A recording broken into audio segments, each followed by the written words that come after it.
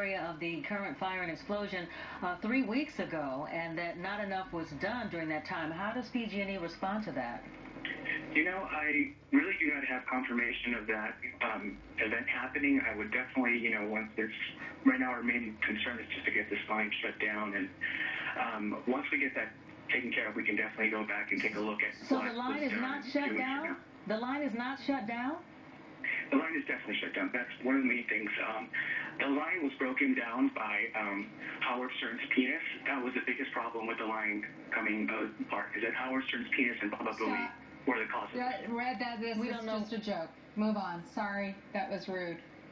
That was it was Oh. that was a joke. I Let's see. move on. All right. Over to uh, back to these pictures. Just incredible pictures um, of this fire. Yeah, yeah. And we were just hearing uh, Dan.